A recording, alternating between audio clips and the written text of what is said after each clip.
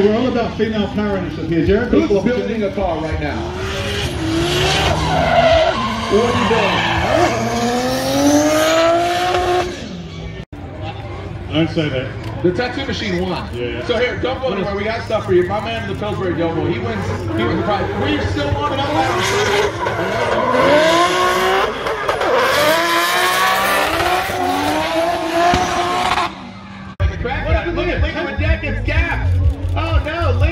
he's shimmying his way in, but right now, out front, Taylor James. Taylor James. Oh no, Link. Versus name, you got James Taylor, big fan. He is the guy to beat. Dad, you won't potentially meet on the final. That's hard to beat right there. We get all